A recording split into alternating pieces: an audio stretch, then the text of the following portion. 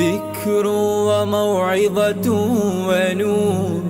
فيه شفاء للصدور وشفيعنا يوم النشور. آياته تروي المدى وصفاته نبع الهدى نلقى الجنان بحبه. لن تستقيم حياتنا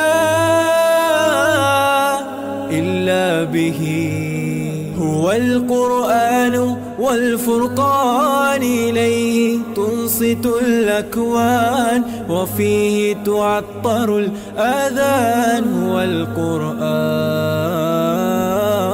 ضياء يملأ الآفاق ونور يبعث الأشواق وفيه محاسن الأخلاق والقرآن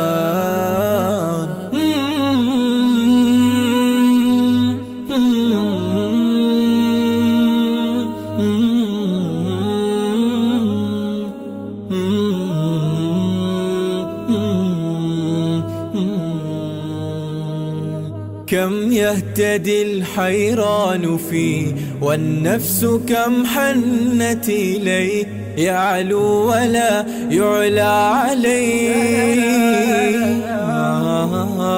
هيا نرتل آيه ونعيش تحت ظلاله. ننسى الهموم بقربه. لن تستقيم حياتنا إلا به هو القرآن والفرقان إليه تنصت الأكوان وفيه تعطر الآذان هو القرآن ضياء يملأ الآفاق ونور يبعث الأشواق وفيه محاسن الأخلاق والقرآن